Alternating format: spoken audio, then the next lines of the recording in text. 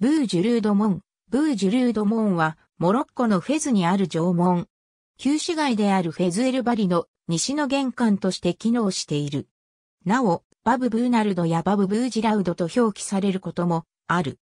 フランス領時代の1913年に建設された門と中世に建設された門、ブージュルードという名称は、現在の門ができる前から使われていた。門を出て、西側にブージュルード広場があることからもわかる通り、連兵場を意味するブージャンウドという言葉が方言でなまったものだと考えられる。フェズエルバリの主要な砦の一つであるカスバブー、ジュルードやカスバーンヌワールにも近い。12世紀から存在したとされる古いブージュルード門はシンプルな作りである。メディナを横断し、市の中心部であるカラウィーイン大学へとつながるスークの目抜き通りであるタラーケビーラはこの門を起点としている。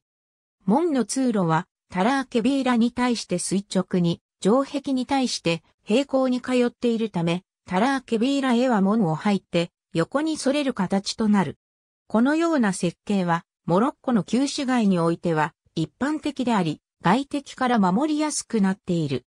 外から見ると現在使われている門の他に、左側にも門が見られるが、閉鎖されている。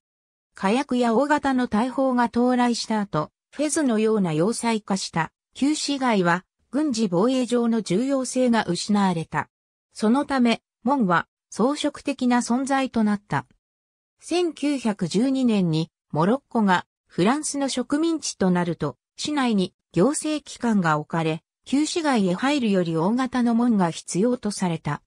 当時の長官であったキャプテンメリアーは1912年12月に城壁に新しい門を建設する計画を立てた。建設予定地にあった馬小屋と3軒の店は買い取られ、破壊された。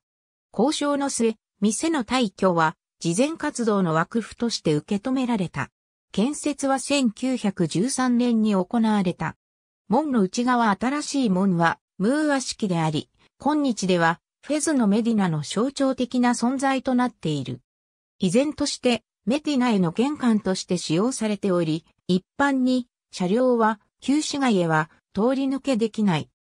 門は三つの U 字のアーチを有したムーア式の建築で、上からは銃撃が可能となっている。内側と外側の壁面はアラベスクを描いた多色のタイルで覆われ、外側は青、内側は緑を基調とする。門の扉は閉まっていて外側から鍵がかけられているように見えた。これはフランスがメティナうちの住民による運動を統制するために言ったことだと言われる。門を抜けると、店や飲食店に囲まれた小さな広場があり、現在はここからカラウィーニヤメディナの中心部へ至る、旧市街のメインストリートであるタラーケビーラやタラーセギーラへ行くことができる。